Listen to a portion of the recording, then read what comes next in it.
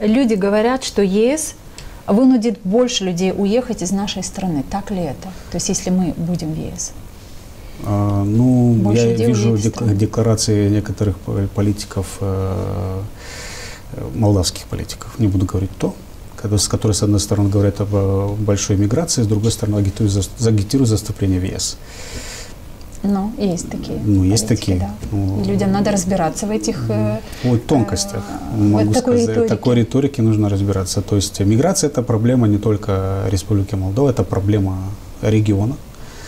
Эм, Это проблема и Балкан, проблема и Румынии, проблема Болгарии, проблема Республики Молдова, проблема, ну, Украины берем, потому что там война, э, берем страны Бал, э, северные, ну не северная, а Прибал- бывшая Прибалтика, балтийские страны.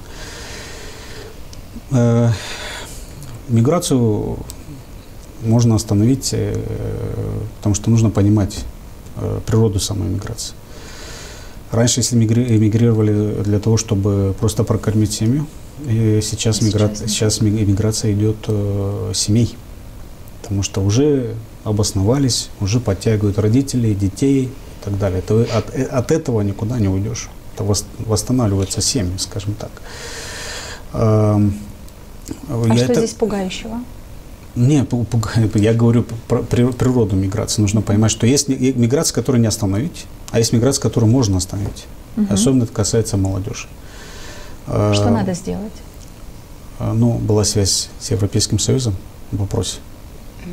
Э, Вот э, я считаю, что прежде всего нужно четко понимать, где мы находимся.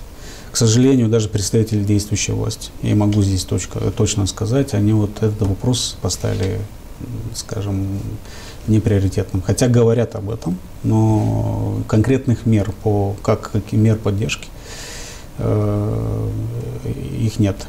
Нужно, нужно давать э, конкретный стимул для молодежи.